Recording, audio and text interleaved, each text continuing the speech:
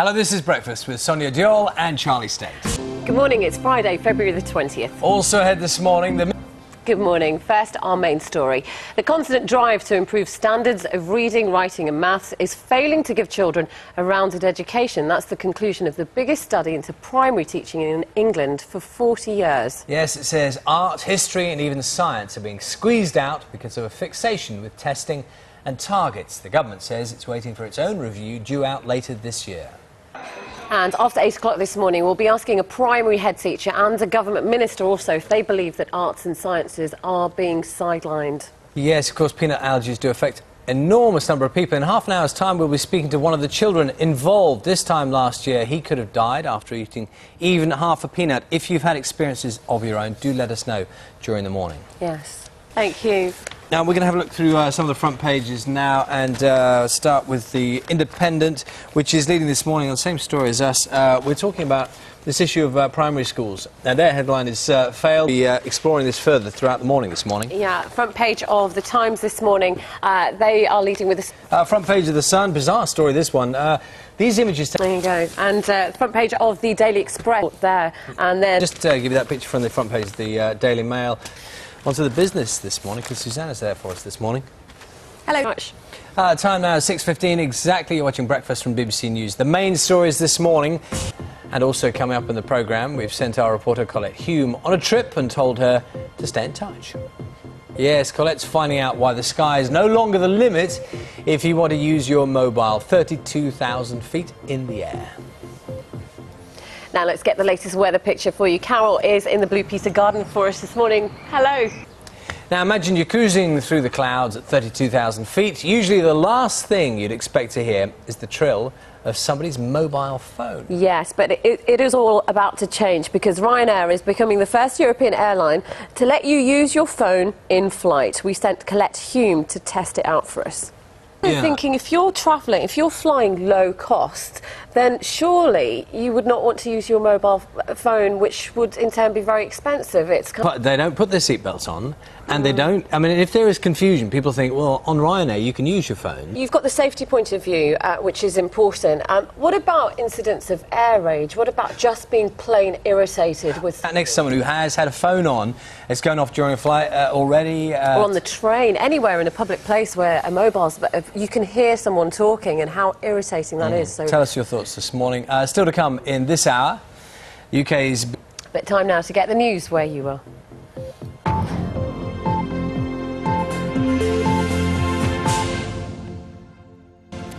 Hello, this is Breakfast with Sonia Deol and Charlie Stayt. Lots more to come this morning.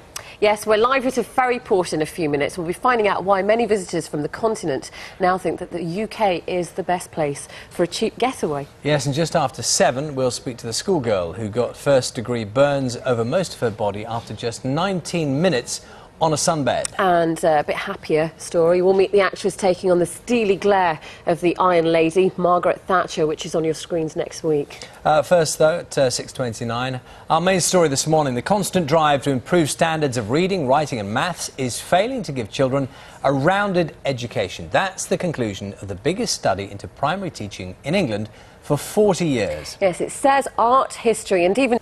And after eight, we'll be asking a primary head teacher and a government minister if they believe arts and science, sciences are being sidelined. There is a saying, you get what you pay for, and that's very true for one woman from Missouri who says her wig has saved her life. Uh, Brianna Bonds was sitting in a parking lot when she was shot by her former boyfriend as she drove off. She says her head snapped forward. She felt a bit of pain but thought nothing more. When police arrived, they found a bullet that was tangled in her hair weave. Investing a lot of money into this weave and it saved my life. It saved my life. what a great story. Tells the story in a nutshell, doesn't it? The wig that saved her life. It's brilliant. What's the moral of that story? Uh, that wigs are good for you. Wear a wig. Could save your life, exactly. Neither of you have. Those are the main stories, How by the way, know? this morning. Make assumptions about Mike like that. Do you want to feel it? It is real. It's definitely real. It is. Uh, let's see what's coming up later in the programme and then you get put into basically a ballot for the first 740,000 tickets which are up for grabs today. So if, for example, I wanted to buy a ticket for the first England game, yeah. can I do that and how much? Yeah, you... Thank you. Now, with so many cheap clothes available on the high street, it seems more and more likely we are to buy an outfit and then bin it soon after. But with 2 million tonnes of unwanted clothes ending up in landfill each year, the government wants to change all that. And it's unveiling plans to make the retail industry more environmentally friendly. We're joined now by. You want retailers uh, to, to sign up to this agreement and to, to make money uh, more ethic, well, ethic, ethically produced, I should say. Yeah. Um, uh, but can they? The question is because so many people, and especially in tough times now, mm. want to buy clothes that are much cheaper. Success, though. And, um, and essentially, one of yeah. the problems surely is that mm. the, the best way to stop people throwing things away is for people not to be fashionable. And if you just, tr- no, it's, a, it's, an honest yeah. truth, isn't it? If you if you don't change your wardrobe much, then you're going to have less to throw away. Um, Approach the issue of, of buying clothes, what you do with them afterwards. Do let us know. Yeah, it's uh, 20 to 7 right now. The weak pound might be bad news for us Brits, but it's good news for tourism with the northeast of England, the surprise winner. Yes, B&B bookings are up. Ferries are full. And Europeans are flocking to our shores in search of holiday bargains. Now, Laura Bicker's at the beach in Tynemouth. Good morning, Laura. Be beautiful seeing the dawn rise there. We'll be back there later on. Uh, time now 6:45. You're watching Breakfast from BBC News. The main stories this morning. Thank you very Thank much, you. Carol.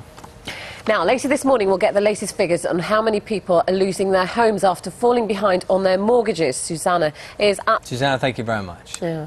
Now, it looks pretty harmless, but for thousands of children, a bag of peanuts is something to be avoided and even feared. Now, researchers in Cambridge say they think they've found a cure for peanut allergies. And strange as it may seem, it involves treating sufferers by giving them the peanuts which could otherwise have killed them.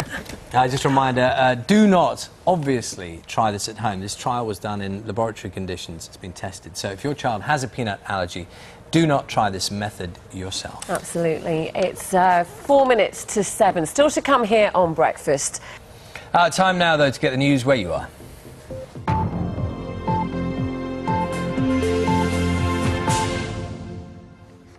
Uh, and you can see Margaret on BBC Two. That's on Thursday at uh, 9 pm. Yeah, and it is really, really good. I got a chance to see it last night. Now, that's it for today, but we'll be here over the weekend. Back tomorrow morning from 6 with all the latest news. Yes, and of course, on Monday, we will be live in Los Angeles on the red carpet for news of all the winners and losers at this year's Oscars. Of course, we'll find out which dress Susanna has gone for. Have a lovely day. Bye